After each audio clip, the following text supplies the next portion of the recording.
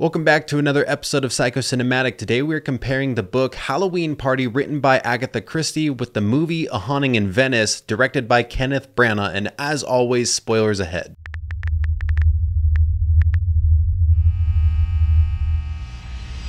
So, first, I'm going to get into the biggest similarities between the book and the movie, as well as the differences, and then I'll go into the review of the movie and the book. So, firstly, there's almost nothing similar from the book to the movie. It's kind of ridiculous. One of the biggest similarities are the character names, but even that they changed. They'll keep the name, and then completely change the character or the character's relationship in the story. For example, the medium that's in the movie, her name is Mrs. Reynolds, and in the book, the Reynolds family is the family that all of the death is surrounding because it starts off with a little girl named Joyce Reynolds who is drowned in a bucket of water for apple bobbing. Mrs. Reynolds is just a mom, and Leopold, that little boy in the movie who loses his father, that's actually the sibling of the little girl that dies in the book, and he also dies in the book. So they just completely like they take these names and then they just kind of I, I, I really don't even see the purpose of doing that. But the movie does that a lot, where they take some details from the book and then completely change its relevance in the movie. So, a couple of the other really big similarities are there is a Halloween party. Thank God they kept that the same because the book is literally called Halloween Party. Mrs. Drake is still the killer from the book to the movie. Not only that, but she is also getting blackmailed in the book and in the movie. Mrs. Drake is still involved with a love interest in the movie, but here it's backwards because in the book,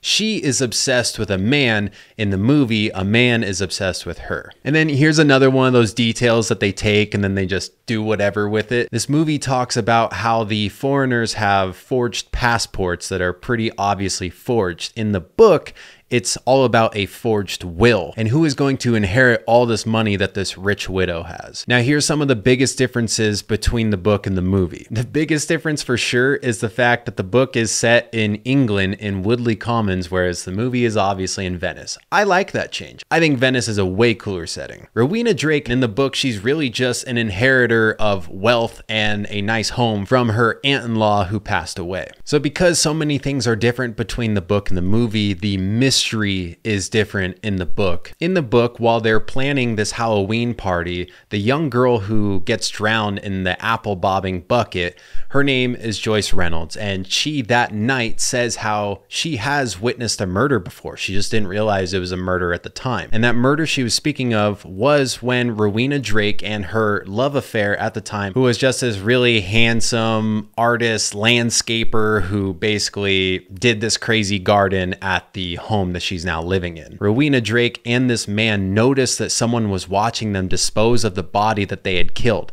The body who was actually Olga, who is in the movie. Olga was that caretaker lady who ends up leaving with the medium's two assistants and Leopold at the end. But in the book, she is the au pair to the rich widow who ends up dying. Rowena Drake and this man she was having an affair with kill her off because she was going to inherit all the money because this old woman found out that Rowena Drake is having an affair, cheating on her nephew who Rowena Drake was married to. This is all very confusing when you don't know all these characters that are in the book, so I don't blame you if you're not tracking, so let's move on. In the book, there's literally no haunting. Rather, there's just a brief allusion to Satan because the man that Rowena Drake is having an affair with is handsome like Satan. And that man attempts to sacrifice his daughter in the end, just like Agamemnon from Greek mythology, and then flee to a Greek island.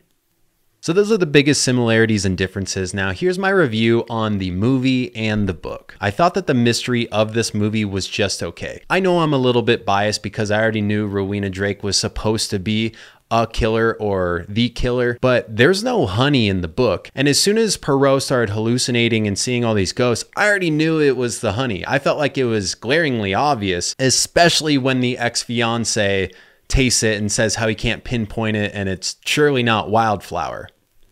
I think he said wildflower. So I saw all that coming, even though that's not in the book. I was really bummed that the medium died so early on in the movie because I was hoping for more of this Scooby Doo esque ghosts and spirits, and it's continuously backed up by someone who's really hard to disprove.